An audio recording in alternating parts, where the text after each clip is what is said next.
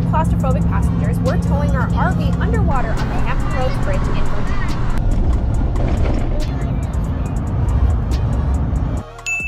And now we're 108 feet below sea level. Just trying to go down. Yeah, we're underwater right now. There's a lot, and it's on a literally. Gosh, there's.